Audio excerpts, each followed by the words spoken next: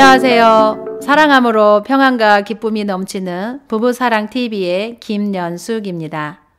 오늘은 신을 믿는데 당신의 자녀와의 관계는 어떠신가요? 라는 이야기를 준비하였습니다.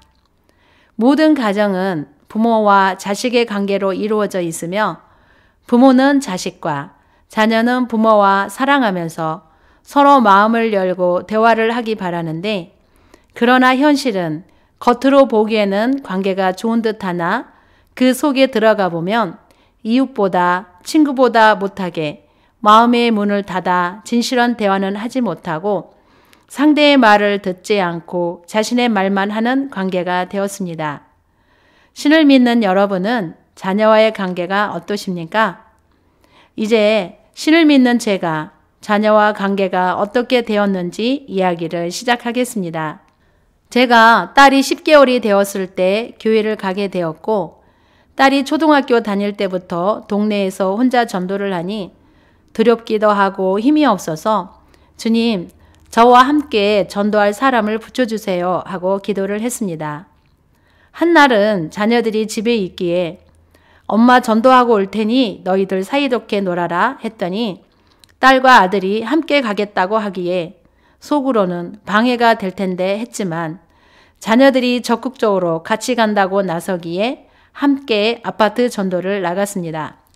그래서 주일이면 자녀들과 저는 전도지를 많이 가지고 와서 함께 전도지를 접는 기쁨이 있었고 두 자녀는 얼마나 열심히 하든지 서로 많이 하겠다고 뛰기에 저도 함께 뛰며 전도지를 집집마다 넣어주는데 저에게 힘이 되었고 참으로 행복했으며 딸과 아들은 자신이 신을 믿는 것에 대한 자부심이 있었습니다.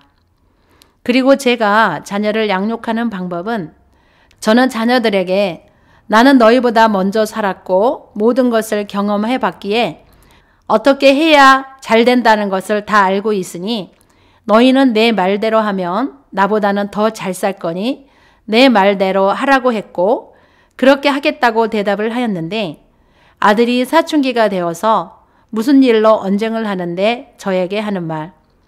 왜 우리는 엄마 말대로 살아야 해? 우리 인생을 왜 엄마에게 맞추어서 살라고 해? 우리는 해보지도 않았는데 어떻게 할 수 있어? 하며 따지는데 저는 아들 말이 옳다는 것을 알지만 내 자존심이 상하여 미안하다는 말은 하지 않고 내 말대로 해보지 않고 따지는 아들과 오히려 다투어 사이는 점점 더 멀어져 갔습니다. 또한 아들이 중학교 때쯤인데요. 남편이 노래방을 하면서 외도를 하여 저는 내 인생의 전부를 다 잃어버린 것 같이 힘들었지만 자식이 이 사실을 알게 되면 사춘기 따라 잘못될까 두려워 말을 하지 않았고 남편이 집에 오면 저는 노래방을 그만두라고 하고 남편은 계속 하겠다고 하며 오히려 집을 나가겠다고 하며 다투니 아들이 엄마가 신을 믿으니 엄마가 참아. 그러면 아빠가 깨닫고 일찍 들어올 거 아냐? 하는 거예요. 저는 그 말을 듣고 아들에게 말하기를 야 지금 참아서 될 일이냐? 지금 말을 해야 네 아빠가 알아들을 거 아니야 하면서 저는 아들의 말을 무시하고 내 뜻이 이루어지기를 바라고 더 크게 싸웠습니다. 이런 일이 몇 번 있은 뒤 아들은 교회를 가지 않게 되었습니다. 또한 저는 남편과 행복하게 살고 싶은데 남편이 가정을 돌아보지 않고 만취해서 매일 새벽에 들어오니 남편에 대한 미움과 분이 있고 불만이 가득하기 때문에 내 말투는 항상 남편을 무시하며 공격적인 말로 기분 상하게 하는 말을 하게 되고 또한 남편이 저를 보고 자신의 잘못을 깨달을 줄 알았는데 남편은 변하지 않으니 저는 남편을 내 마음에서 밀어내 버리고 내 인생의 목표를 돈 모으는 일로 올인하게 되었습니다. 이렇게 인생의 목표가 바뀌어 버리니 돈 이야기만 해도 저는 계산을 하고 돈이 나가게 될까봐 긴장을 하게 되고 자녀들이 돈 달라는 말만 해도 짜증과 투명스러운 말로 무슨 돈? 하면 자녀들도 짜증을 내며 준비물 사야 해! 하고 투명스럽게 말을 하면 내 마음이 상하여 좋은 말로 해라 하면 자녀가 하는 말, 엄마는? 하면 저는 할 말이 없었습니다. 이런 일이 반복이 되니 자녀와도 한두 마디면 다투는 관계가 되어 꼭 필요한 말 외에는 할 말이 없게 되었습니다.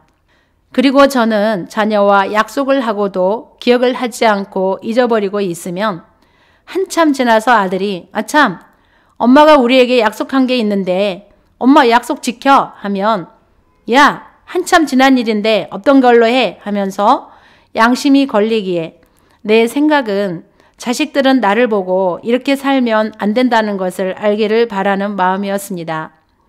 그리하여 내 자식도 약속을 지킬 줄 모르는 사람을 만들어 버렸고 자신도 지키지 못한 약속을 상대는 지키라고 싸우는 부모와 자식의 관계가 되었습니다. 그래서 저는 자식이 왼수 아닌 왼수가 되었습니다. 신을 믿는데 부모와 자녀의 관계는 왜 그럴까요?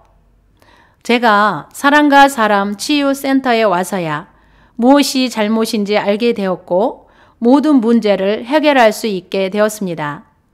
센터장님께서는 내 안에 있는 미움과 분과 욕심과 거짓말과 불순종을 쫓아내고 사랑을 받아보자고 하여 가르침을 받은 대로 했더니 내 마음에 사랑이 가득 차게 되었습니다.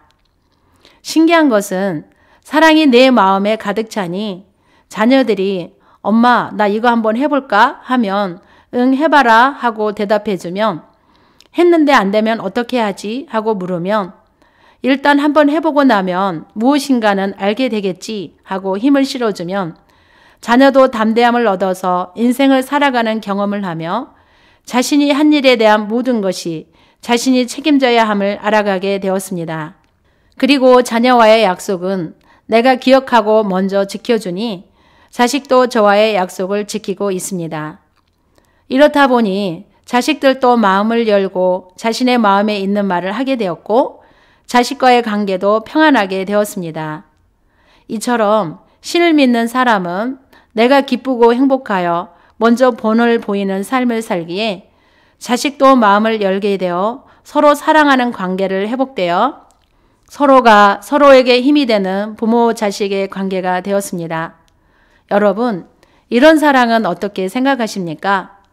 저처럼 자녀와 마음이 다쳐 답답하고 대화가 되지 않아 힘들어하는 여러분을 사랑과 사람 치유센터에 초대합니다.